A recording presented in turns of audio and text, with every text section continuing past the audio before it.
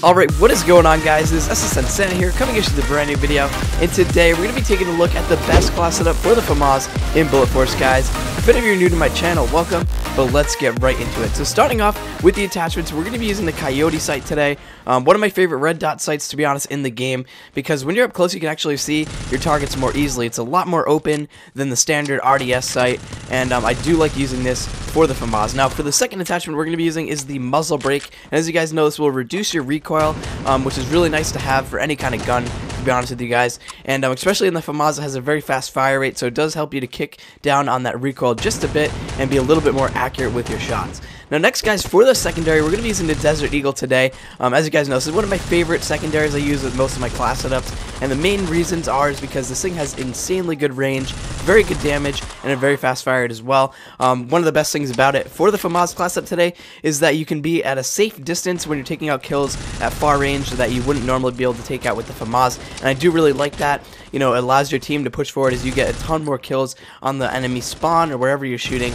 and it's definitely really overpowered to use with the FAMAS. Now, for the kill streaks today, guys, we're going to be using the UAV, of course. That way, after you get four kills, you can easily see where people are spawning and try to get as many kills as you can there, where you can secondly get the Super Soldier um, kill streak as well. And this kill streak is one of my favorites, guys, that I've been using recently because you get 30 seconds of insanely good damage. Um, your bullets turn blue, and it just helps you go on a better kill streak, you know, because what you're doing is you get up to the 13 kills, you finally turn Super Soldier on, and then you go into Beast Mode, you're just taking out kills left and right, and it's super overpowered. I really like using that. And finally, guys, of course, the nuke, just in case you get to 25 kills, that way you can drop that on the lobby, get all the kills, and it just looks super dope, guys. Now, for the throwable today, we're going to be using the smoke grenade, guys, and you guys know how I like to use this. So basically, what I'll use it for is I'll use it as a decoy, or I'll use it as a, like, protection between two spawns, or whatever I'm going to do.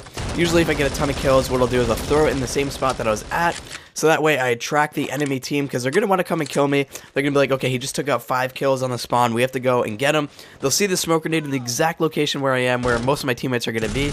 And then that gives me time to go around at a different angle, take out more kills, and then possibly use another smoke grenade to do the same exact tactic and take the rest of the kills out at my previous spot. And it's super overpowered, guys. I really love using the, the smokes that way. All right, now we're going to move over to the perks, guys. Um, the four main perks that I really like to use with this gun is firstly going to be optimized, guys. Of course, you want to have a faster reload speed, especially with the FAMAS. It's a little bit slow. Um, so basically what I like to use is use Optimize. That way I get the magazine into the gun as fast as possible, especially since it's a submachine gun, you're up close. You don't want to be wasting a couple seconds around a corner trying to reload, not being able to, and then only having your final resort to the Desert Eagle. Definitely um, helps to have Optimized, guys. Now secondly, what I like to run is going to be Extended, guys. Extended is going to give you a couple extra bullets in the mag. I just always love the idea of having more bullets, more ammo, guys. That could be more kills. Um, it could save your life, guys. Sometimes I notice that I'll be at the end of the magazine and I'm about to take out a kill and I've run out of bullets and I only needed like one or two more. So extended can definitely save your life, guys, and save those kill streaks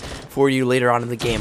Now next, we're also going to be using Super Strafe, of course, guys. One of my next favorite perks um, that allows you to move side to side a lot quicker while aiming down sight, guys. So basically, if you're hip firing, if you're aiming down sights, you're going to have a fluid movement um, throughout the map, going between kills. Um, it's going to be a lot harder to shoot you. Um, usually, if you don't use Super Strafe, you're basically a sitting duck, guys. It's a lot harder to move, and it doesn't feel natural. And then the final perk we're going to be using today, guys, is going to be Trigger Finger. Of course, Trigger Finger is one of the best one-slot perks, especially when you have a very nice secondary like the Desert Eagle that you want to make fully automatic, guys. It definitely helps you out rather than tap firing. Sometimes your accuracy is a little bit off. But with this, you can basically just switch over in the heat of the moment, take out a couple kills, and it's just really fun to use. But overall, guys, I think this is the best class setup for the FAMAS in Bullet Force, guys. If you did enjoy this video, definitely drop a like, comment down below any questions you have for me, and if you're new to my channel, guys, subscribe, and I will see you all in the next one. Peace out.